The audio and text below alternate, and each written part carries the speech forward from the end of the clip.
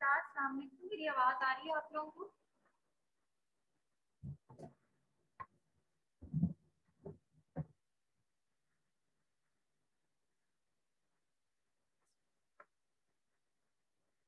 कैसे आप लोग ठीक ठाक है? खैरियत से?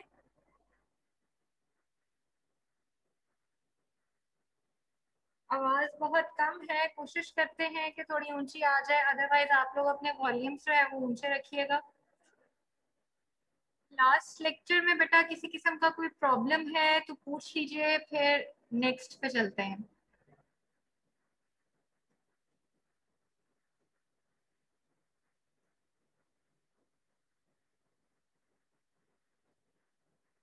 अच्छा अभी तक जो हमने पढ़ा है थेराप्यूटिक्स टू कुछ फ़ायदा हुआ है पढ़ने का? कोई चीज़ समझ आई है? सेटिस्फाइड हो? अभी तक इजी था। अच्छी बात है, चलें ठीक है। चलें गुड अच्छी बात है। ये तो बहुत अच्छी बात है। चलें, कोशिश करेंगे कि आगे भी इसी तरह से अच्छा जाए और आप लोग इसको सेटिस्फाई होके पढ़ो। चलो बेटा लेक्चर शुरू करते हैं।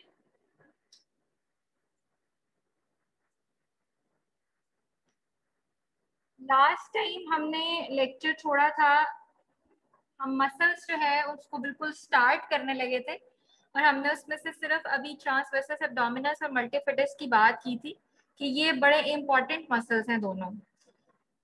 और ये इंपॉर्टेंट क्यों मसल्स हैं?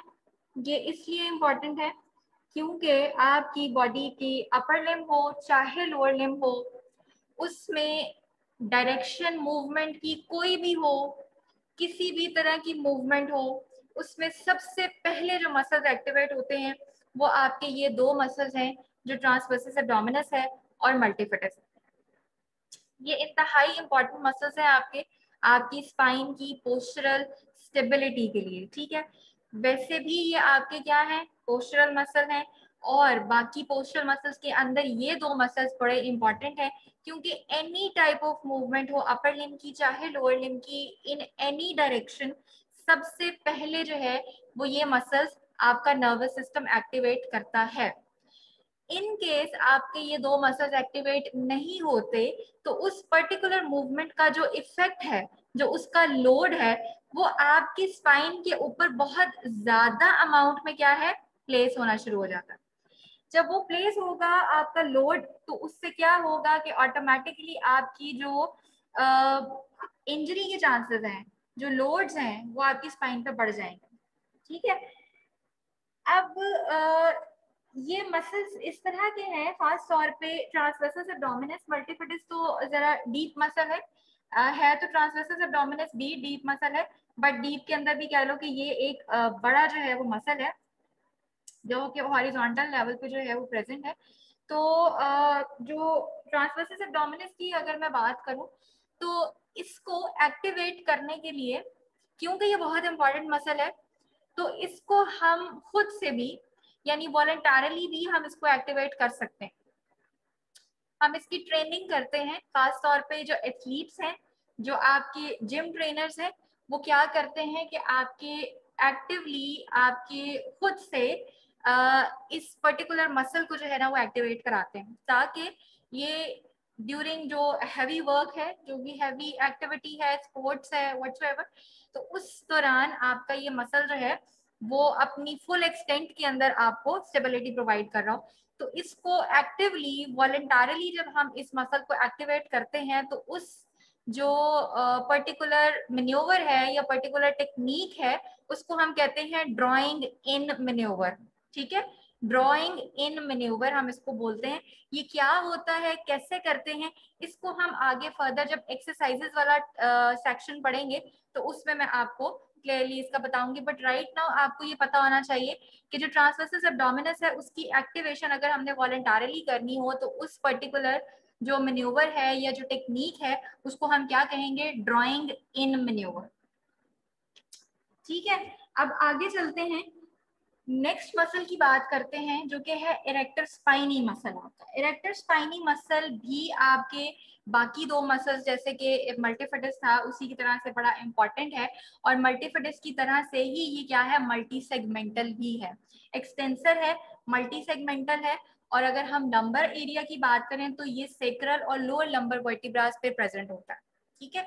अब इसका क्या काम है कि ये भी आपको पहली बात तो ये कि इसमें भी जो टाइप वन फाइबर्स हैं, ये बहुत ज़्यादा अबंडेंट अमाउंट में प्रेजेंट होते हैं, ठीक है? मल्टीफिडस और इरेक्टर स्पाइनी मसल्स को हम टोनिक स्टेबलाइजर्स भी बोलते हैं। ठीक है, क्या कहते हैं? टॉनिक स्टेबलाइजर्स टॉनिक स्टेबलाइजर्स हम इसलिए कहते हैं क्योंकि इनके अंदर टाइप वन फाइबर्स जो है ना, वो बहुत ज़्यादा अबंडेंट अमाउंट में प्रेजेंट है। और टाइप वन फाइबर्स कौन से से? जो कि इंड्योरेंस आपको प्रोवाइड कर रहे थे।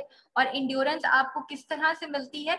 आपकी आइसोमेट्रिक कॉन्ट्रेक्शन जब ये करते रहते हैं पोस्टरल मसल्स तो ये आपको क्या करते हैं? बेसिकली आपको स्टेबलाइज करने के लिए ऑल द टाइम आपके ये आइसोमेट्रिक कॉन्ट्रैक्शन के अंदर होते हैं जिसमें इनकी मसल की लेंथ चेंज नहीं हो रही बट ऑल द टाइम इनके अंदर टेंशन प्रोड्यूस है।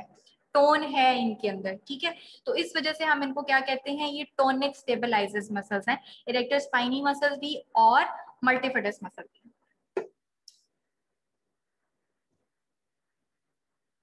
ये आपका आ, इसकी अनाटमी है। ठीक है, ये इरेक्टर स्पाइनी मसल है।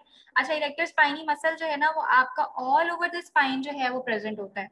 हर सेगमेंट में अलग अलग है।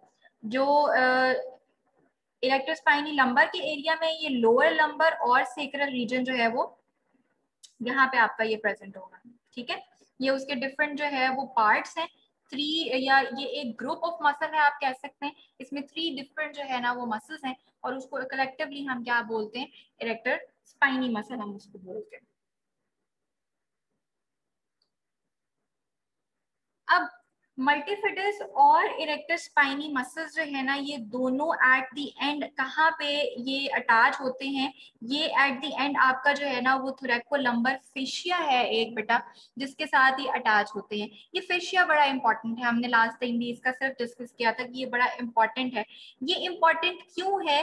क्योंकि ये जितने मसल्स हैं, ये सारे के सारे आपके क्या हैं? इस फेशिया के साथ अटैच है। जितनी भी आपके इन मसल्स के अंदर टेंशन प्रोड्यूस होती है, आपकी वो टेंशन ट्रांसफ़र होती है, इस थ्रेकोलम्बर फेशिया तक। ये फेशिया जो है, वो आपके मसल्स की डिफरेंट कॉन्ट्रैक्शंस और उनकी टेंशन की वजह से क्या रहता है? टाइट रहता है।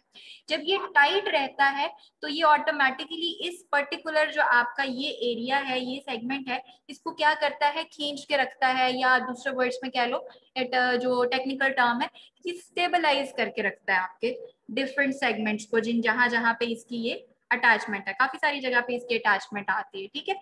तो बेसिकली क्या है?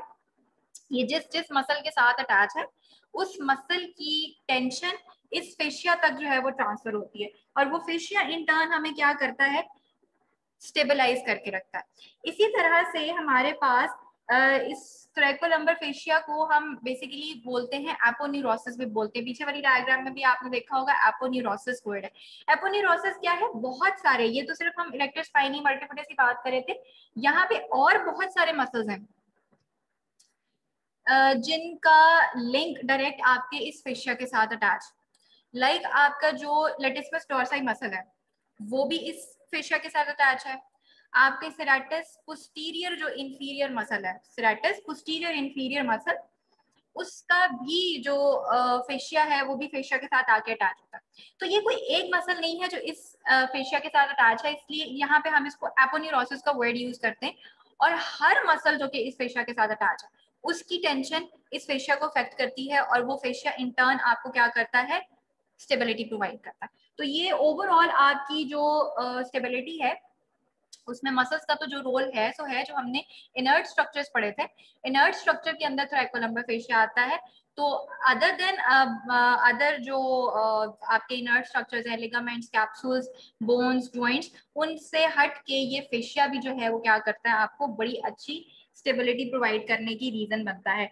इसमें किसी किस्म का प्रॉब्लम होगा तो ऑब्वियसली आपकी क्या है क्या चीज़ अफेक्ट होगी स्टेबिलिटी uh, आपकी जो है वो अफेक्ट होगी। ठीक है? Multifidus stabilization activity tonic stabilizer का मैंने आपको बताया क्योंकि ये सेगमेंटल भी है और इसमें टाइप वन फाइबर्स बहुत ज़्यादा है तो ये आपकी स्पाइन को क्या करते हैं इन उसकी स्टिफनेस को इंक्रीज करते हैं। स्टिफनेस का मतलब यहाँ पे ये चीज़ नहीं है कि वो चीज़ मुड़ेगी नहीं वो चीज़ मूव ही नहीं होगी। स्टिफनेस का मतलब ये है कि ये स्टेबिलिटी यहाँ पे इंक्रीज हो रही है ठीक है?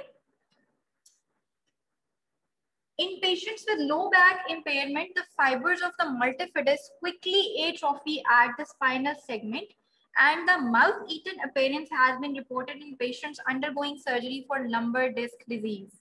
ठीक है? अब आपको आइडिया हो रहा होगा कि जो चीज़ जितनी ज़्यादा इम्पोर्टेंट होती है, उसकी कह लो कि समटाइम्स होता भी ऐसे है कि वो जल्दी खराब भी होने वाली चीज़ होती है। ज़ाहिर रिस्पॉन्सिबिलिटी ज़्यादा होती है। तो मल्टीफिडस जो मसल है, उसकी जो अपेरेंस है, अगर देखा जाए जिनकी डिस्क की जो है वो लीजन थी और सर्जरी से पहले के जो केसेस हैं, उसमें अगर रिपोर्ट जो किया गया या देखा गया, उसमें यह है कि ये मसल एट्रोफी बड़ी जल्दी होता है। लो बैक पेन की वजह से आपकी एक्टिविटीज़ रिड्यूस होंगी, एक्टिविटीज़ रिड्यूस होंगी तो आपके ये मसल जो है ये एट्रोफी हो जाएगी इसकी, बहुत जल्दी।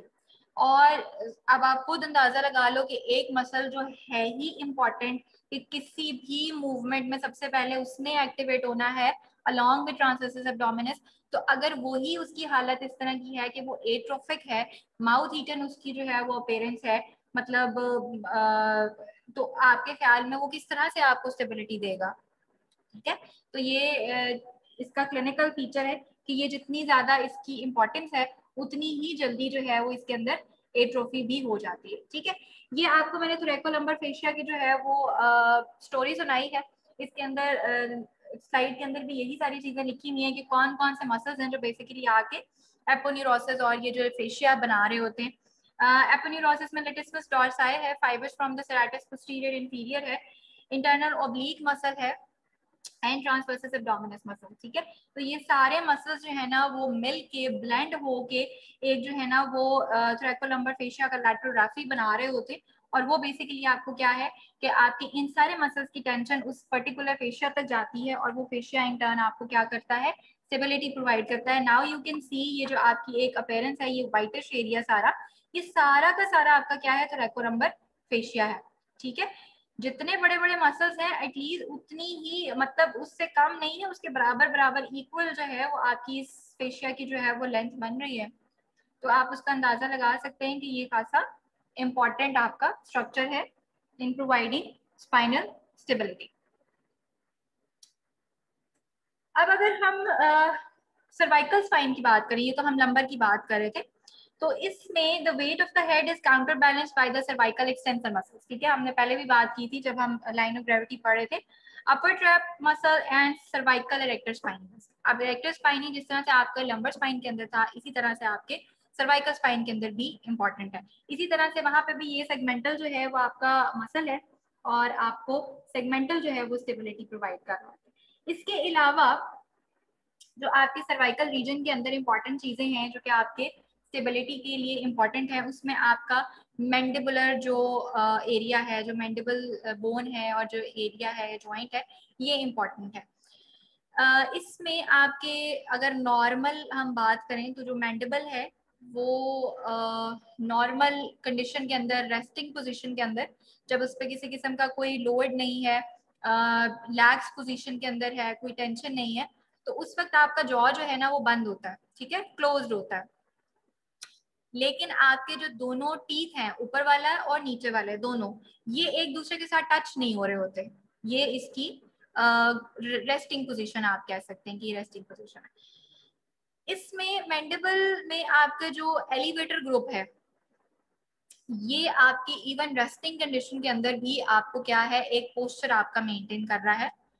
अदरवाइज़ अगर आपके एलिवेटर जो हैं वो काम ना कर रहे हो मैंडेबल के तो आपका जो लोअर जो है, वो तो ड्रॉप कर जाएगा। हर वक्त आपका मुँह जो है ना, वो खुला रहेगा। तो नॉर्मल हालात में जब हमारा, हम कोई काम नहीं कर रहे मुँह के साथ तो वो बंद रहता है। वो बंद क्यों रहता है? वो आपके एलिवेटर मसल्स की वजह से बंद रहता है। ये आपके पोस्टरल जो एक स्टेबिलिटी है या एक जो पोस्चर को मेंटेन करने वाली जो चीज़ है, उसमें आपके मैंडिबल्स के एलिवेटर ग्रुप पे इंपॉर्टेंट है। सुप्राहायोइड एंड इंफ्राहायोइड मसल्स जो हैं, वो आपके इंपॉर्टेंट uh, आ जाते हैं। ये बेसिकली आपके फ्लेक्सर मसल्स हैं ठीक है?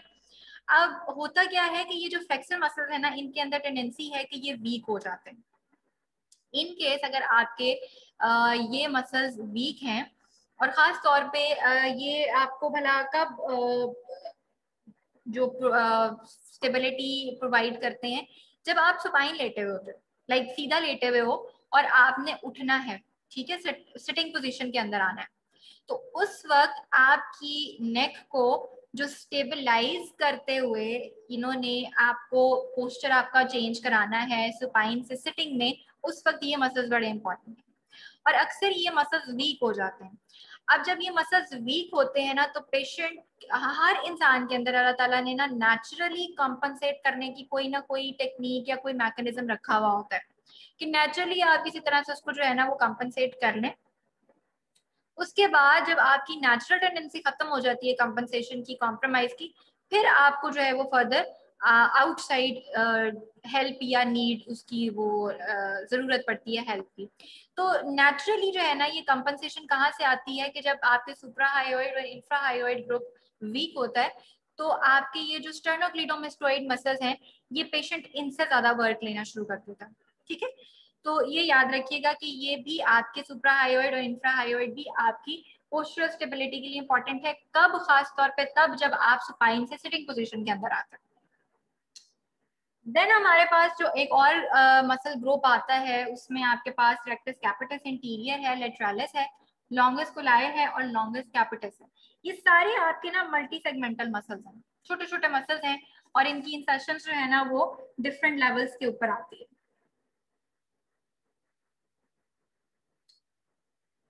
अब इसमें क्या है? ये भी आपके जो डायनामिक सपोर्ट है, आपके सर्वाइकल रीजन की, उसमें आपको ये हेल्प आउट करते हैं, ठीक है? अलोंग विथ स्टेनोक्लिडोमेस्टोइड ठीक? अगर जो इनकी सेगमेंटल इन्फ्लुएंस है लॉन्गेस्ट पिलाई का ये ना हो, खास तौर पर लॉन्गेस्ट पिलाई का तो जो स्टेनोक्लिडोमेस्टाइड है, इसके ओवरवर्क की वजह से आपके सर्वाइकल रीजन के अंदर जो है ना वो लोडोसिस होना शुरू हो जाती है। मतलब कर्व जो है ना वो एग्जैजरेट कर जाती है। तो मसल्स का काम सिर्फ़ और सिर्फ़ मूवमेंट प्रोवाइड करना नहीं है। मसल्स का काम आपके पोस्टर को भी बेहतर रखना है, आपको स्टेबिलिटी भी देना है। एक मसल का चेक एंड बैलेंस रखना दूसरे मसल्स के ऊपर। क्योंकि हर जो आपके ग्रुप्स में मसल्स होते हैं ना, ये इक्वल और ऑपोजिट काम कर रहे होते हैं। एक अपने काम से ज़्यादा बढ़ जाएगा ना तो दूसरे आ, मतलब एक अगर प्रॉपर काम नहीं कर रहा तो दूसरा जो है ना वो एक्स्ट्रा काम करना शुरू कर देगा और वो कोई ना कोई आपको पोस्टरल डिफॉर्मिटी की तरफ़ ले जाएगा। तो खास तौर पे यहाँ पे ये जो लॉन्गेस्ट कोलाय मसल है अगर इसकी सेगमेंटेशन ना होती, ये अगर सेगमेंटली वर्क ना करे ईच एंड एवरी लेवल के ऊपर आपको स्टेबिलिटी प्रोवाइड ना करे तो जो स्टर्नोक्लिडोमेस्टोइड मसल है, उसका काम बढ़ जाएगा। वो जब बढ़ेगा तो उसका रिज़ल्ट हमें किस तरह से निकलेगा कि आपके जो सर्वाइकल की कर्व है, वो एग्जैजरेट कर जाएगी सर्वाइकल लोडोसिस की तरफ़ चला जाएगा। ठीक है? मल्टीफिटस की अभी हमने बात की कि मल्टीफिटस मसल जो है, वो जिस तरह से लंबर में प्रेजेंट है, उसी तरह से सर्वाइकल के अंदर भी प्रेजेंट है मल्टी सेगमेंटल है और इसका भी जो फ़ंक्शन है, वो जस्ट लाइक लंबर रीजन का जो मल्टीफिटस था, बिल्कुल उसी तरह का है कि जितना ज़्यादा इसका काम है, उतना ज़्यादा जो है वो इसके ऊपर वर्क भी है लोड भी है तो ये एट्रोफी भी जल्दी हो जाता है और आपकी अपर लिम की जो मूवमेंट्स हैं, उसमें इसका रोल बड़ा इंपॉर्टेंट है इन स्टेबलाइजेशन ठीक है जी? ये आपके सर्वाइकल के जो मसल्स हैं, जिनकी अभी हम बात कर रहे थे, ये सारे आपकी नाट में दिखाएँगे आपको अच्छा अब आ, वो जो थ्री लेगेड स्टूल की हमने लास्ट टाइम बात की थी कि तीन सब सिस्टम्स हैं इनर्ट मसल्स यानी पैसिव सब सिस्टम है एक्टिव सब सिस्टम है और न्यूरल कंट्रोल है। हमने इनर्ट की बात कर ली उसमें हमने ज्वाइंट्स को देख लिया उसमें हमने खास तौर पर जो थ्रेकोलम्बर फेशिया था हमने उसकी डिस्कस कर ली। हमने एक्टिव सब सिस्टम के अंदर जो डायनामिक कंट्रोल आ रहा था डायनामिक स्टेबिलिटी आ रही थी, उसमें मसल्स को डिस्कस कर लिया। अब तीसरा इंपॉर्टेंट जो आपका सब सिस्टम रह जाता है, वो है आपका न्यूरोलॉजिकल कंट्रोल न्यूरोलॉजिकल कंट्रोल के बगैर आप किसी भी तरह से ये चीज़ कंसिडर ना करें कि आपकी जो स्टेबिलिटी है, वो रहेगी। Muscles of the neck and trunk are activated and controlled by the nervous system ये जो हम एक्टिवेशन एक्टिवेशन की बात कर रहे थे कि फला मसल ने आपको फला टाइम पे स्टेबिलिटी देनी है, वो जब तक मसल एक्टिवेट नहीं होगा, यानी उसको सिग्नल्स नहीं आएँगे आपके नर्वस सिस्टम से, वो काम नहीं कर सकता। यानी कि आपका ये जो नर्वस सब सिस्टम है न्यूरल कंट्रोल का, ये बहुत ज़्यादा इंपॉर्टेंट है।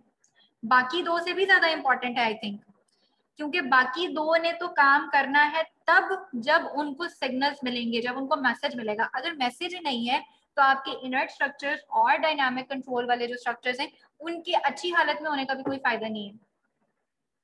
ठीक है ना? तो ये आपके जो ट्रंक के मसल्स हैं नेक के और ट्रंक के ये आपका नर्वस सिस्टम एक्टिवेट करता है which is influenced by peripheral and central mechanisms. In nervous system coordinates, uh, sorry, the nervous system coordinates the response of muscles to expected and unexpected forces at the right time and by the right amount. मतलब कि आपके जो muscles का ऊपर जो उसका एक expected result है या जो आपका एक एक मसल्स का एक्सपेक्टेड काम है एक्सपेक्टेड भी और अनएक्सपेक्टेड भी उन सबको किसने कंट्रोल करना है? वो आपके नर्वस सिस्टम ने कंट्रोल करना है। ठीक है? राइट टाइम पे कंट्रोल करना है। लाइक उसकी लैग नहीं है डिले नहीं है हमें जिस वक्त उस मसल की एक्टिवेशन की ज़रूरत है उस वक्त मसल जो है वो एक्टिवेट होना चाहिए। राइट right अमाउंट जितनी अमाउंट में हमें वो मसल एक्टिवेट चाहिए ठीक है? मूवमेंट टू मूवमेंट डिपेंड करता है ना आपको कि, कितनी स्टेबिलिटी चाहिए। कुछ एक्टिविटीज़ इस तरह की हैं जो बहुत लो स्टेबिलिटी रिक्वायर्ड है। तो आपके मसल को कैसे पता चलेगा कि मैंने उसको कितना जो है वो स्टेबलाइज करना है? कब करना है? एक्सपेक्टेड एक आपका जो था सिचुएशन uh, थी कुछ अनएक्सपेक्टेड सिचुएशंस भी आ जाती हैं। एक्सपेक्टेड का तो चले अगर हम कह देंगे जी मसल को पता है कि उसने एक्सपेक्टेड जो उसके आउटकम्स uh, हैं उसमें किस तरह से वर्क करना है तो अनएक्सपेक्टेड जो सिचुएशंस होती हैं वो किसने हैंडल करनी ये सारी चीज़ें किसने हैंडल करनी है? ये आपका तीसरा सब सिस्टम है जो कि न्यूरल कंट्रोल का है ये उसका काम आ जाता है। ठीक है? उसके बगैर भी हमारे जो स्टेबिलिटी uh, है वो पॉसिबल नहीं। अब ये जो है ना, ये बेसिकली फ़ीड फॉरवर्ड मैकेनिज्म होते हैं जो कि नर्वस सिस्टम जिसके थ्रू आपको स्टेबिलिटी प्रोवाइड कर रहा है। Central nervous system activates the trunk muscle in anticipation of the load impose by limb movements to maintain stability in spine वो जो हम बात कर रहे थे ना कि किस टाइम पे और कितनी अमाउंट में आपने स्टेबिलिटी आपके नर्वस सिस्टम देनी तो वो आपके फ़ीड फॉरवर्ड मैकेनिज्म हैं जिनके थ्रू आपके नर्वस सिस्टम उसको सेंस करता है। देखो, हर चीज़ जो है ना, वो कनेक्टेड है। एक चीज़ दूसरे के बगैर क्या है? ज़ीरो है। अब हम अभी पहले बात कर रहे थे कि नर्वस सिस्टम का रोल इतना ज़्यादा है कि बाकी दो स्ट्रक्चर अगर आपके बिल्कुल इंटैक्ट है नर्वस सिस्टम नहीं है तो उनके इंटैक्ट होने का कोई फ़ायदा नहीं है। बट अगेन आपका नर्वस सिस्टम किसकी जो है, वो मरहूने मिन्नत है कि किसके उसको ज़रूरत है, उसकी हेल्प उसको रिक्वायर्ड है। वो अगेन आपके ये जो इनर्ट और आपके जो एक्टिव सिस्टम है उसकी ज़रूरत है। यहाँ से आपके ये जो मसल्स हैं, इनकी मूवमेंट के थ्रू आपके सॉरी इनके जो ऊपर लोड्स अप्लाई हो रहे होते हैं। इन लोड्स के थ्रू मैसेज जाता है कि जी फला लोड है, इस टाइम पे लग रहा है, इतनी अमाउंट में लग रहा है, हमें एक्टिवेशन इस हिसाब से चाहिए। वो एक्सपेक्टेड था लोड वो अनएक्सपेक्टेड था, ये सारी चीज़ें किसने देखनी है? नर्वस सिस्टम ने देखनी लेकिन नर्वस सिस्टम को पहले बताएगा कौन? आपके बाकी के दो सब सिस्टम्स ठीक है? तो अब आपको शायद बात समझ में आ रही हो कि ये जो थ्री लेगेड स्टूल है, इसको हमने थ्री लेगेड क्यों कहा है कि एक भी टांग इसकी अगर जो है वो वीक है और प्रॉपर नहीं है तो आप उस पर बैठ नहीं सकते। वो आपके किसी काम का नहीं है। और हर लेग एक दूसरे के साथ जो है वो इंटरकनेक्टेड है। एक का दूसरे के साथ लिंक है। एक नहीं तो दूसरे नहीं, दूसरी नहीं तो तीसरी नहीं तीसरी नहीं तो पहली वाली नहीं, ठीक है? कंप्लीट इसका cycle There are feed-forward mechanisms that activate postural responses of all trunk muscles preceding activity in muscles that move the extremities and the anticipatory activation of the transversus abdominis. अब transversus abdominis का जो है वो हम बात करें कि वो जो activation हम कह रहे हैं ना कि nervous system ने activate आपको करना है वो trunk muscles कौन से activate करने हैं वो आपके transversus abdominis और डी फाइबर्स ऑफ़ मल्टीफिडिस ठीक है इनको ये क्या होगा कि इनको एक्टिवेट करना है और सबसे पहले सबसे पहले, ठीक है?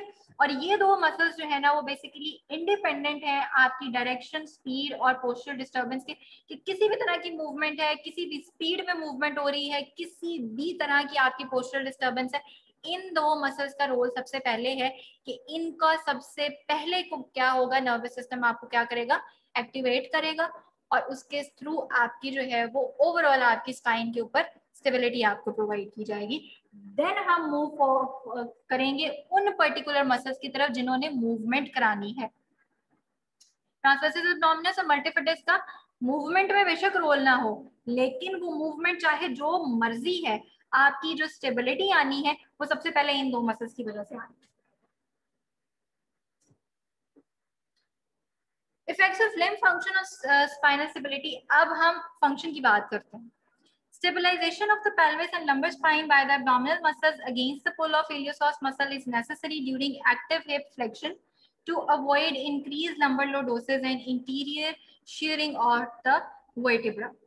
कि अब ये जो आपके एब्डोमिनल मसल्स है ना जिनमें आपका ट्रांसवर्सस एब्डोमिनस भी आ जाता है उनकी आपको जरा इंपॉर्टेंस जो है वो बताई जा रही है कि स्टेबलाइजेशन जो हम बात करें किस तरह से स्टेबलाइजेशन प्रोवाइड हो रही है कि आपकी ये जो लंबर स्पाइन है, उसको इंक्रीज या जो लंबर लोडोसिस है, उसकी तरफ़ ले जाने से रोकने के लिए आपके जो डिफरेंट मसल्स हैं, खास तौर पे यहाँ पे इलियोसॉस का ज़िक्र हुआ हुआ है, कि का जो पुल है, उसको काउंटर बैलेंस करते हैं आपके एब्डोमिनल मसल्स वो आप याद करो, अगर रिकॉल करो आपकी इंटीरियर और पोस्टीरियर पेल्विक टिल्ट्स को याद करो वो क्रॉस के अंदर आपके जो है वो मसल फाइबर्स होते हैं मसल ग्रुप्स होते हैं ठीक है? एक तरफ़ के जो है वो क्रॉस का जो मसल है वो आपको कॉन्ट्रैक्ट uh, कर रहा होता है तो दूसरी तरफ़ वाला जो है वो आपको अलाउ कर रहा है वो स्ट्रेच अप हो रहा है तो दूसरा कॉन्ट्रैक्ट कर रहा है। और आपस के जो ए, एक साइड के जो दोनों मसल्स ग्रुप्स हैं वो क्या कर रहे होते हैं कि एक दूसरे को कंट्रोल कर रहे होते हैं ठीक है? कि अगर आपकी इंटीरियर पेल्विक टिल्ट है लेट से वो इलियोसॉस ने अगर करानी है ठीक? फ्रंट की अगर हम बात कर लेते हैं तो आपके एब्डोमिनल मसल्स ने उसको क्या करना है? लिमिट करना है। अदरवाइज़ अगर आपके एब्डोमिनल्स वीक हैं तो आपके तो इलियोसॉस उसको ज़्यादा पुल करना शुरू करेंगे। वही बात मैंने आपको पहले कही कि आपके जो ऑपोजिट ग्रुप मसल्स है ना, ये एक दूसरे के ऊपर चेक एंड बैलेंस रखते हैं। इक्वली और ऑपोजिट चेक एंड बैलेंस होता है।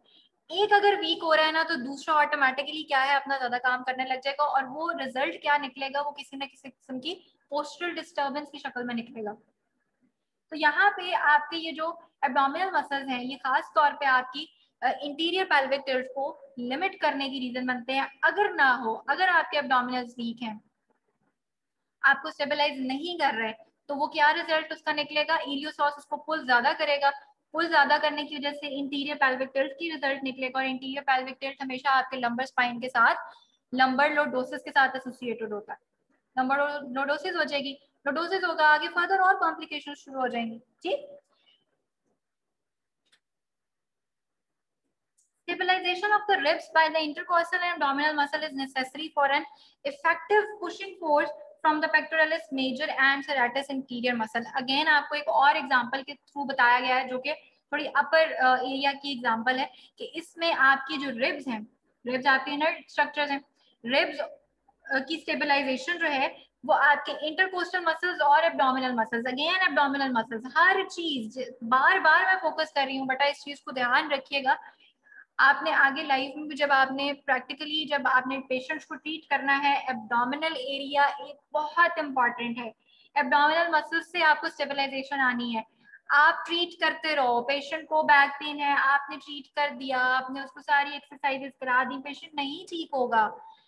Up to the full extent hundred percent function नहीं होगा अगर आपने एब्डोमिनल्स को छोड़ दिया। है अपर लिम का पेशेंट है। आपने बंदा कहता है, यार अपर लिम का प्रॉब्लम है शोल्डर का प्रॉब्लम है, उसको आप ट्रांसवर्सिस एब्डोमिनस की तरफ़ क्यों जा रहे हो? लिंक है। सारी चीज़ें आपस में लिंक है। अपर लिम का ही पेशेंट प्रॉब्लम है एब्डोमिनस को छोड़ दिया पेशेंट हंड्रेड परसेंट ठीक नहीं होगा। ठीक है? अब इसी तरह से ये इंटरकोस्टल मसल्स की बात हो रही है कि जो रिब्स को स्टेबलाइज किया हुआ है रिब केज को, वो आपके इंटरकोस्टल मसल्स और एब्डोमिनल मसल्स ने किया हुआ है। ठीक है? Stabilization of the cervical spine by the longus colli muscle is necessary to prevent excessive lordosis from contraction of the upper trapezius as it functions with the shoulder girdle muscle in lifting and pulling activities.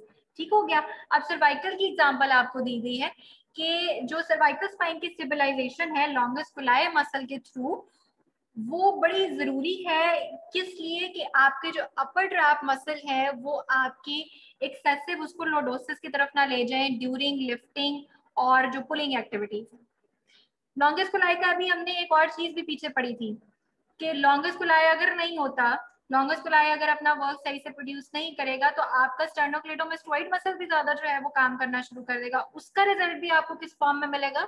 Lordosis की form में। Postural imbalance आ गया, ठीक है? तो ये चीज़ें आपकी important है। Effects of breathing on posture and stability अब पोस्चर का स्टेबिलिटी और सॉरी uh, ब्रीदिंग का जो है वो पोस्चर स्टेबिलिटी के ऊपर क्या इफ़ेक्ट है? Inspiration and thoracic spine extension elevate the rib cage and assist with posture. ठीक है ये हमें सबको पता है हमने ये चीज़ पढ़ी है कि जो ब्रीदिंग पैटर्न्स हैं उसके अंदर आपकी रिब्स जो हैं वो इमोबाइल स्ट्रक्चर नहीं है। ये ब्रीदिंग पैटर्न के साथ साथ आपकी क्या है? आपकी एलिवेट करती हैं, आपके डायमीटर्स को क्या करती हैं चेंज करती हैं या बढ़ाती हैं, ठीक? वी ऑल नो कि आपकी ये जो रिब केज है, ये जब हम इंस्पायर करते हैं तो आपका रिब केज लैटरली भी डायमीटर में इंक्रीज करता है और एंट्रोपोस्टीरियर भी डायमीटर में क्या करता है इंक्रीज करता है रिब्स एलिवेट करती हैं। The stabilization function of transversus abdominis also work in conjunction with the diaphragm अब देखो डायफ्राम के साथ वी किसका रोल आ रहा है? ट्रांसवर्सेस एब्डोमिनस का। अपर लिम की मूवमेंट में ट्रांसवर्सेस एब्डोमिनस लोअर लिम की मूवमेंट्स में ट्रांसवर्सेस एब्डोमिनस डायफ्राम जो कि एक आपका इन एक इस तरह का वाइटल प्रोसेस है ब्रीदिंग उसके अंदर भी रोल किसका आ रहा है? ट्रांसवर्सेस एब्डोमिनस का। अब पिक्चर जरा बनाने की कोशिश करो कि ट्रांसवर्सेस एब्डोमिनस वीक है। नहीं एक्टिवेट हो रहा तो इफ़ेक्ट कहाँ कहाँ जाएगा? हर चीज़ पर इफ़ेक्ट होगा और हर चीज़ इन टर्न आपको क्या करेगी? पोस्टर इम्बैलेंस क्रिएट करेगी। If we increase the motion of the arm, increase in the motion of diaphragm occur arms की movement हो रही है इफ़ेक्ट कहाँ आ रहा है? डायाफ्राम पे। डायाफ्राम के साथ कौन रिलेटेड है? ट्रांसवर्सस एब्डोमिनस तो अपर लिम की मूवमेंट में आ गया आपका ट्रांसवर्सस एब्डोमिनस का रोल हर चीज़ आपकी बॉडी की क्या है? हाईली हाईली इंटरलिंक्ड एक का इफ़ेक्ट दूसरे के ऊपर. इंस्पिरेशन है थोरेसिक स्पाइन एक्सटेंशन अब एक्सटेंशन की अगर हम बात करें थोरेसिक स्पाइन की elevate the rib cage and assist with posture ये पुरानी लाइन ही पीछे लिखी हुई थी, दोबारा आ रही है. The intercostal muscles function as postural muscles to stabilize and move the ribs अब इंटरकोस्टल मसल्स पोस्चरल मसल्स क्यों है? क्योंकि ये वो मसल्स हैं जिन्होंने आपकी रिब्स को स्टेबलाइज करना रिब्स स्टेबलाइज होंगी तो आपका पोस्चर मेंटेन होगा। They act as a dynamic membrane between the ribs to prevent sucking in and blowing out of the soft tissue with the pressure changes अब देखो लंग्स क्या है? ब्रीदिंग क्या है? प्रेशर गेम है। प्रेशर चेंज का game है। और प्रेशर चेंजेस हमें तो बिल्कुल फील नहीं हो रहा होता, लेकिन अगर आप इन प्रेशर को मेजर करना शुरू करो तो ये अच्छे खासे प्रेशर्स होते हैं। ये इतने हाईली किस्म के प्रेशर्स हैं कि आपके ये जो स्ट्रक्चर्स हैं सॉफ्ट टिश्यूज हैं, सांस लेने के साथ ये इसको अंदर खींच सकते हैं। सांस बाहर निकालने के साथ ये ब्लो आउट कर सकते हैं। सॉरी मैं ऑपोजिट बोल गई हूँ। सांस जब आप इनहेल करते हो तो ये आपकी, क्योंकि रेब केज एलिवेट कर रहा है और आपकी एक्सपैंड कर रही है तो ये इन पोस्टर्स के साथ जो है वो ये आपको ब्लो आउट कर सकते हैं। जब आप सांस बाहर निकालते हो, सारी चीज़ें अंदर की तरफ़ जा रही हैं, ये सकिंग इन हो सकती है। तो ये जो प्रेशर के गेम चेंज है प्रेशर चेंजेस ये सॉफ्ट टिश्यूज को क्या कर सकती है? ये बहुत बुरी तरह से इफ़ेक्ट कर सकती है। उन, इस चीज़ को कौन प्रिवेंट कर रहा है? ये आपके पोस्टरल मसल्स जिनका एक काम तो रिब्स को स्टेबलाइज करना था, दूसरा आपके सॉफ्ट टिश्यूज और आपके ये जो प्रेशर की चेंजेस हैं, उनके दरमियान में एक मेम्ब्रेन की तरह से भी काम करना है कि आपके बाकी स्ट्रक्चर्स को जो है वो नुकसान ना हो। कितनी खूबसूरत तरीके से अल्लाह ताला ने जो है ना वो हर चीज़ का एक plan A plan B plan C पहले से ही जो है वो अंदर रखा हुआ एक चीज़ जो लास्ट रह गई इस लेक्चर की वो है विलसेल्वा मेन्यूवर ठीक है, इसको समझ लेते हैं। विलसेल्वा मेन्यूवर क्या चीज़ है? ये एक टेक्निक है, जिससे हम अपने बॉडी का जो इंट्राबडोमिनल प्रेशर है, उसको इंक्रीज करते हैं। आपने बायोमैकेनिक्स में ये चीज़ पढ़ी होगी कि जो इंट्राबडोमिनल प्रेशर है, ये आपकी स्पाइन के ऊपर लोड्स को कम करने की रीजन बनता है। क्यों? क्योंकि आपका जो इंट्राबडोमिनल प्रेशर है ना, ये एक बलून की तरह से एक्ट करता है। वो आपके जितने स्ट्रक्चर्स है ना उनको एक पुशिंग फोर्स प्रोवाइड करता है, आपके वर्टिब्रल बॉडीज को पुशिंग फोर्स प्रोवाइड करता है, उससे आपके जो फॉरवर्ड बेंडिंग हो रही है, या जो आपकी वर्टिब्रल बॉडीज और इंटरवर्टिब्रल डिस्क के ऊपर एक्स्ट्रा प्रेशर आ रहा है, उसको रोकता है ये प्रिवेंट करता है बलून की तरह से। अब क्या होता है कि ये जो वलसलवा मेन्यूवर है ना, ये इंट्राबडोमिनल प्रेशर को इंक्रीज करने की टेक्निक है, और ये हम कब करते हैं, जब कोई हैवी चीज़ लिफ्ट करनी हो, जब हमें कोई बहुत ज़्यादा प्रेशर रिक्वायर्ड हो किसी चीज़ के लिए तो उस वक्त हम अपने इंट्राबडोमिनल प्रेशर जो है ना, उसको बढ़ाते हैं। किस तरह से बढ़ाते हैं? जब हम अपना सांस अंदर खींचते हैं, उसके बाद हम क्या करते हैं? सांस रोक लेते हैं। तो वो जो सांस अंदर गया हुआ है, वो इंट्राबडोमिनल प्रेशर को उसने इंक्रीज किया और जब सांस हमने बाहर नहीं निकाला, वो अंदर ही है तो वो आपके क्या करता है? इंट्राबडोमिनल प्रेशर को इंक्रीज करता है। आपकी स्टेबिलिटी में जो है ना, वो हेल्प आउट करता है। बट ये पोटेंशियली हार्मफुल भी है और ये रिकमेंडेड नहीं है। इसको करने से मना किया जाता है। अदर और करना भी हो तो इसकी प्रॉपर टेक्निक्स हैं। आपको एग्जांपल देती हूँ। अगर आपने कभी वेट लिफ्टिंग चैंपियनशिप में किसी वेट लिफ्टर को वेट उठाते हुए देखा हो, वो क्या करते हैं? अपने आप को रेडी करते हैं, सांस अंदर खींचते हैं और वो जो हैवी वेट है, पता नहीं वो कितना कितना ज़्यादा वेट होता है अभी पता नहीं मैं देख रही थी कोई वीडियो उसमें टू टेन के मेरा ख्याल है उस बंदे ने लिफ्ट किया टू टेन के बहुत ज़्यादा वेट होता है। अब उसमें क्या है कि इतना हैवी वेट उठाने के लिए आपको इंट्राबडोमिनल प्रेशर को इंक्रीज करना पड़ता है। आप गौर करो कि जब वो वेट लिफ्टर्स वेट उठाते हैं, उस वक्त वो लाल हो जाते हैं। उनके फेसेस जो है ना, वो इतने ब्लश कर रहे होते हैं उस टाइम फुल लाल हुआ होता है उनका चेहरा। क्यों होता है? वो जो हमने इंट्राबडोमिनल प्रेशर इंक्रीज किया ना, उसका एक नुकसान ये भी आता है कि वो इंट्राबडोमिनल प्रेशर आपकी ब्लड वेसल्स के ऊपर भी प्रेशर पुट ऑन करता है। जब ब्लड वेसल्स के ऊपर प्रेशर पुट ऑन होगा तो आपका ब्लड प्रेशर बढ़ जाएगा। और ब्लड प्रेशर जब बढ़ेगा तो वो आपकी फर्दर कॉम्प्लिकेशंस क्रिएट कर सकता है अगर आपने उस चीज़ को ज़्यादा देर के लिए होल्ड करके रखा। प्रेगनेंसी के अंदर भी क्योंकि आपको पुश रिक्वायर्ड होता है आपको प्रेशर रिक्वायर्ड होता है कि आपने बेबी को जब ड्यूरिंग uh, डिलीवरी उसको एक्सपेल आउट करना है बॉडी से तो आपको पुश या प्रेशर रिक्वायर्ड होता है। उस टाइम पे भी फीमेल्स क्या करती हैं अपना एब्डोमिनल प्रेशर इंक्रीज करने के लिए विलसेल्वा मैन्योवर वाली काम जो है वो कर लेती हैं। सांस रोक लेती हैं। इससे कॉम्प्लिकेशन आ जाती हैं। ब्लड प्रेशर बढ़ जाता है बेबी का भी मदर का भी जो नॉर्मल डिलीवरी है वो किधर शिफ्ट हो जाती है? आपके सी सेक्शन की तरफ़ शिफ्ट हो जाती है। एक बड़ी आम सी एग्जांपल देने लगी हूँ जो है तो थोड़ी सी अजीब शायद आपको लगे लेकिन ये एग्जांपल इस तरह की है जो कि हम सबने लाइफ में कभी ना कभी तो एक्सपीरियंस की होगी। तो मेरी कोशिश होती है कि अगर वो चीज़ें थोड़ी सी आ, सुनने में अजीब भी हैं तो कोई बात नहीं, चीज़ें समझ आनी चाहिए, वो इम्पोर्टेंट है। कॉन्स्टिपेशन आप में से हर किसी ने फील की होगी लाइफ में एटलीस्ट वंस आप जरा उस पिक्चर को थोड़ा सा रिकॉल करके देखो कि जब कॉन्स्टिपेशन होती है, उस टाइम पे जब आपको प्रेशर रिलीज़ करने की ज़रूरत होती है, आप क्या करते हैं? आप अपना इंट्राबडोमिनल प्रेशर बढ़ाते हैं, कैसे? सांस रोक के।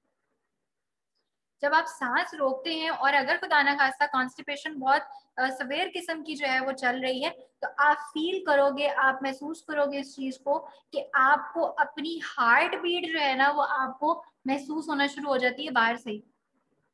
क्योंकि उस टाइम आपका वो जो इंटरएबडोमिनल प्रेशर है, वो आपकी वेसल्स के ऊपर इतना ज़्यादा प्रेशर बिल्टअप कर रहा होता है कि वो इन टर्न आपके हार्ट के ऊपर बहुत ज़्यादा प्रेशर बढ़ जाता है और उसको बहुत ज़्यादा काम करना पड़ रहा होता है उस टाइम पर ये है वेलसेल्वा मेन्यूवर। जब आपका इंट्राएब्डोमिनल प्रेशर आप इंक्रीज करना चाह रहे हो ड्यूरिंग हैवी लिफ्टिंग लोड्स वगैरह में या और कोई आपने इस तरह का प्रेशर वाला काम करना है तो उस टाइम पे जब आप अपने इंट्राएब्डोमिनल प्रेशर को इंक्रीज करते हो that is Valsalva manoeuvre but ये पोटेंशियली हार्मफुल है, ये तब तक तब तक आपको नहीं करना चाहिए जब तक कि आपको इसकी प्रॉपर टेक्निक ना आती हो कि आपने उसको कैसे करना है। इसकी प्रॉपर टेक्निक ये होती है कि आपने सांस नहीं रोकना। जो हम बात करें ना, सांस रोकने वाली, सांस नहीं आपने रोकना होता। वो प्रेशर फिर आप कहोगे कि प्रेशर कैसे बिल्टअप होगा? प्रेशर आएगा आपके एब्डोमिनल मसल से, खास तौर पे किससे? ट्रांसवर्सल एब्डोमिनस से।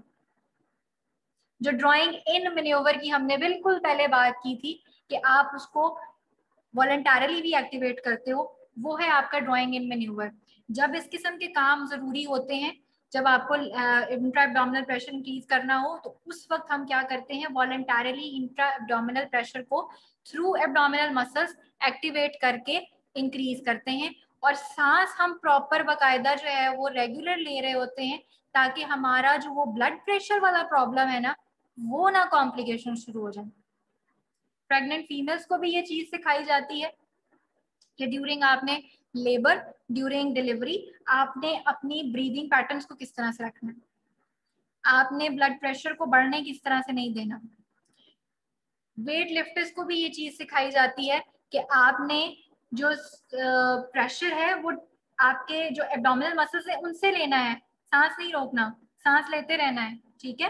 वो सांस ले रहे होते हैं, लेकिन उनका वर्क बहुत ज़्यादा है तो वो इवन सांस लेने के बावजूद उनका चेहरा जो है, वो आपको इतना ब्लश आउट नज़र आ रहा होता है। ठीक है?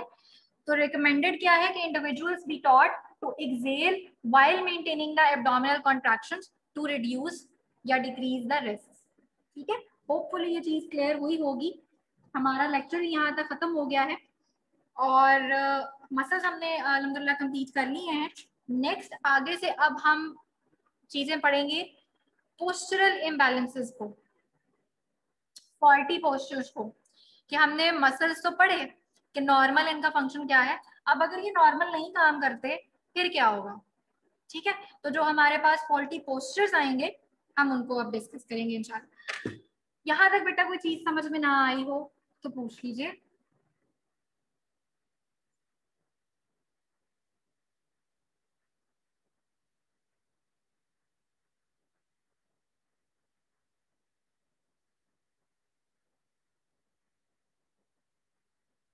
लॉन्गेस्ट को लाए सही वर्क नहीं करेगा तो आपका transversal sorry sternocleidomastoid muscle overwork कर जाएगा, या आपका ट्रिपीजियस जो मसल है अपर ट्रैप वो ओवरवर्क कर रहेगा माउथ ईटन क्या है? माउथ ईटन अपेयरेंस होती है जगह जगह से किसी कीड़े ने, जैसे कोई कपड़ा कुतरा हुआ हो, ठीक है? फॉर एग्ज़ाम्पल कि जगह जगह से जो है ना, वो कुतरी हुई चीज़ होती है, जैसे कपड़ा उसको हम माउथ ईटन कहते हैं।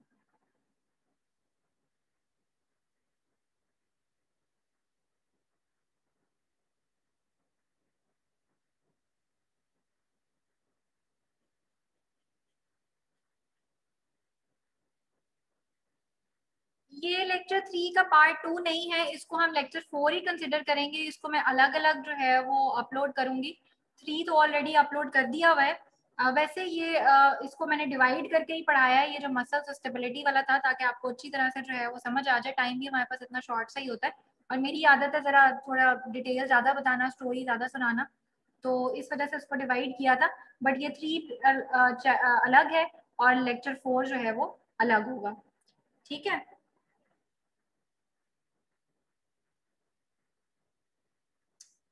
अच्छा जी, कोई प्रॉब्लम तो नहीं, बेटा, कोई किसी ने कोई चीज़ पूछनी हो? अच्छा अभी हमारे पास टाइम है तो ऐसे करते हैं, फिर आज जो अटेंडेंस है, वो हम यहीं पे ले लेते हैं। मैं एक मिनट आपका ए पोर्टल खोल लूँ तो फिर हम अटेंडेंस ले लेते हैं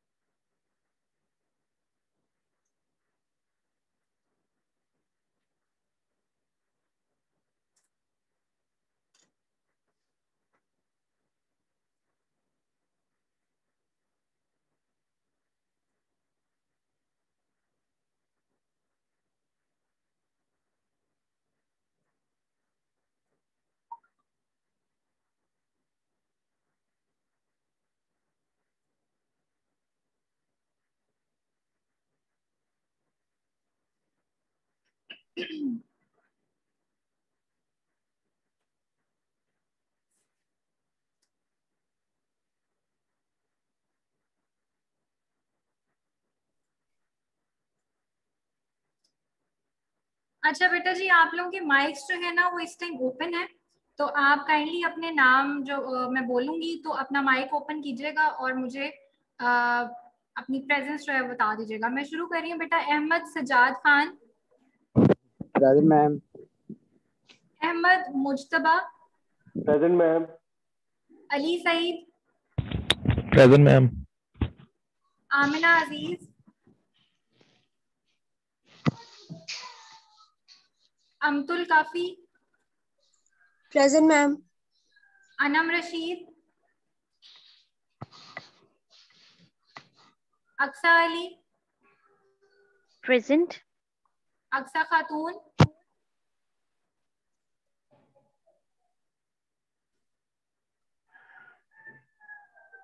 Armish present ma'am Arooj Aziz Ayesha Rafiq ma'am Ayesha Shafiq present ठीक है। बेटा जिसकी अटेंडेंस हो जाए ना वो जरा काइंडली अपना माइक ध्यान से ऑफ़ कर दीजिएगा। ठीक है आयशा रफीक शफीक हो गया। बीनिश मजीद बिस्मा वसीम प्रेजेंट मैम मैंने प्रेजेंट बोला था आपको आवाज़ आई थी। जी जी बिल्कुल लगा दी। Okay ma'am. दानिया दानिया या दीना बिनिश प्रेजेंट मैम। दीना बिनी दीना। चले। ईमान अ, Present, ma'am. हाँ, Iman Raza. Present ma'am. Farzeen. Present ma'am. Fatina Zubair. Present. Fatima. Present ma'am. Fatima Mahmood Bhat. Present ma'am. Gulnahaz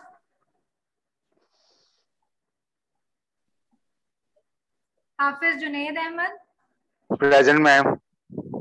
Hafiza Anabia. Sorry Anaba. Present ma'am. ठीक है।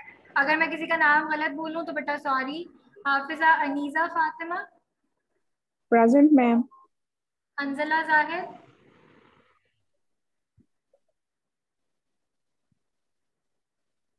Haris Javed. Present ma'am Hira Ahmed.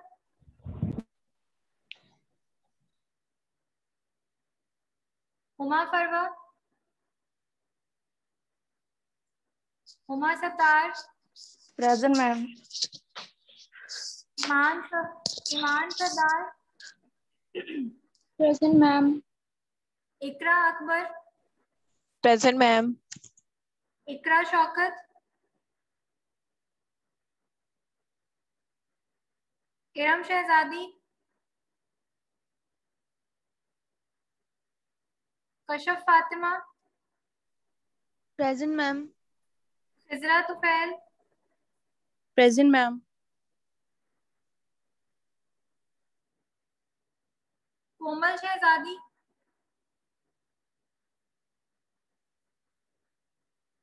Laraib Fatima. Present ma'am. Manoor Rehman.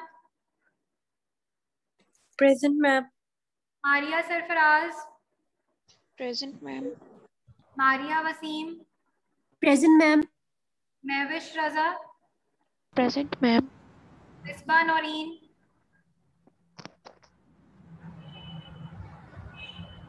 Mohammad तो मैं Taimur Ali sorry Present, ma'am Mohammad Asjad Ali Yes, ma'am.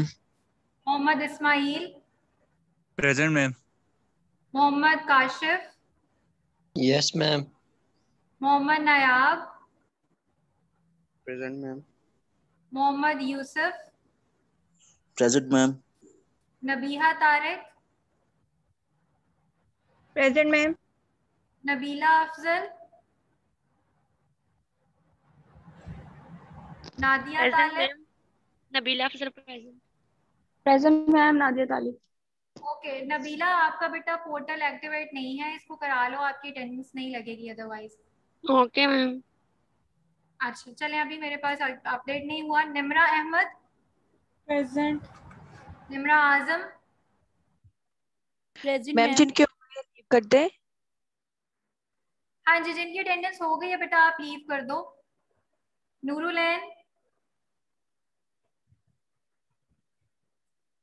Usman Hamid.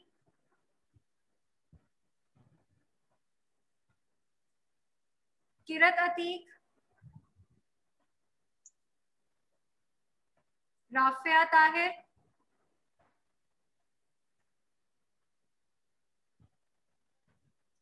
Rana Danish.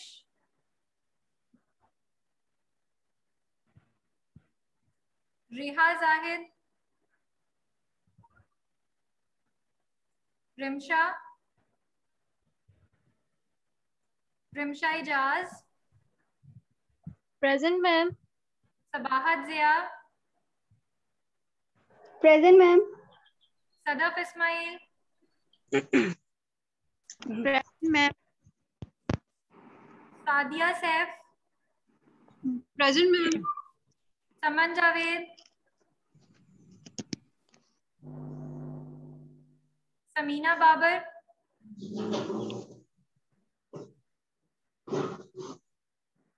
Sana Feroz. Sana Feroz present ma'am. ठीक है। Sana Saleem. Present ma'am. Shabi Batool.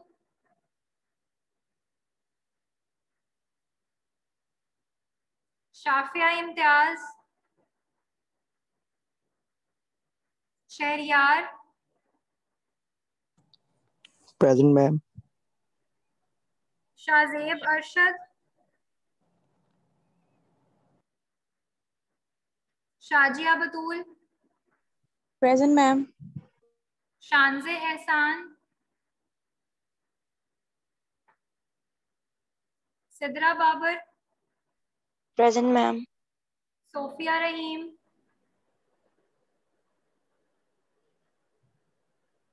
Saeeda Shaista ma'am उसने class join की है लेकिन वो vaccination हाँ। गई है। नहीं वो ना एम तक थी अभी क्लास में और अभी वो वो हो गई है उनकी डिस्कनेक्ट हो गई है क्लास अच्छा चलें ठीक है। Tabinda Farid. Present Tanzeela Tariq Tarosh Turab Tehmina Saleem Umair Usama Irshad yes ma'am present Wanija Naseer Warda Qasim Warda Shabbir. Present ma'am. ठीक है जैन आसिफ।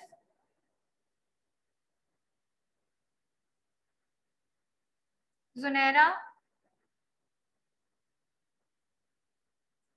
चलो बेटा अगर किसी की अटेंडेंस नहीं लगी है तो मुझे नेक्स्ट क्लास से पहले बता देना। मैम मैं- मेरी मैम मेरा आपने नाम नहीं लिया। बेटा मैंने लिया है आपका रेहा। मुझे तो याद है आपका नाम मैंने लिया है बट चले मैं लगा देती हूँ। बीच में एक मिनट के लिए डिस्कनेक्ट हुआ था आपने तब ना लिया हो नाम मेरा। चलें ठीक है मैंने लगा दी बेटा ठीक है? ओके थैंक यू चलें ठीक है बेटा जी। नेक्स्ट लेक्चर में भी मिलते हैं कोई प्रॉब्लम हो तो पूछ लीजिएगा ठीक है? चलें अपना ख्याल रखिएगा अल्लाह हाफिज बेटा।